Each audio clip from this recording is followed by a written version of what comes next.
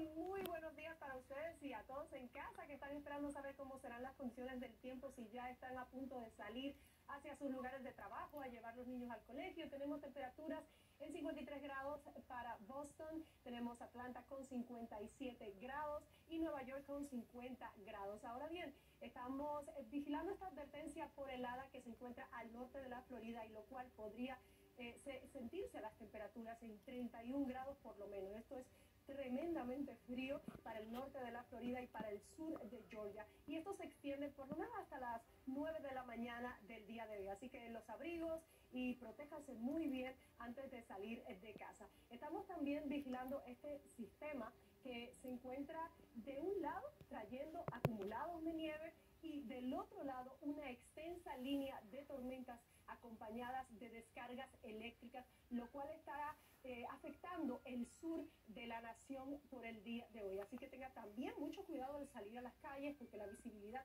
podría ser muy pobre si estas lluvias se intensifican durante las próximas horas. Ahora bien, Nueva York a las 10 de la mañana tendría 41 grados, estas temperaturas se elevarían hasta 50 grados alrededor de las 4 de la tarde para la zona de Nueva York. En general, para el noreste del país tenemos a Boston con 33 grados, Washington con 27 y Filadelfia con 34 grados. Continúen con más de Despierta América.